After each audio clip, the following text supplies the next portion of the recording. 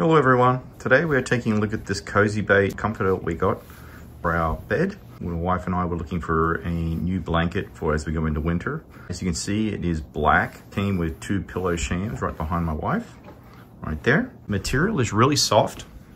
And you can see it's got like a pattern on top. And then underneath it's like a soft thing that's facing the body. So far, we've only slept one or two nights on it, but we really love it and it's really warm. Uh, my dogs like it too, but uh, anyway, we uh, really think it's a great product. Thank you very much. If you like what you see, please like this video and subscribe to my channel.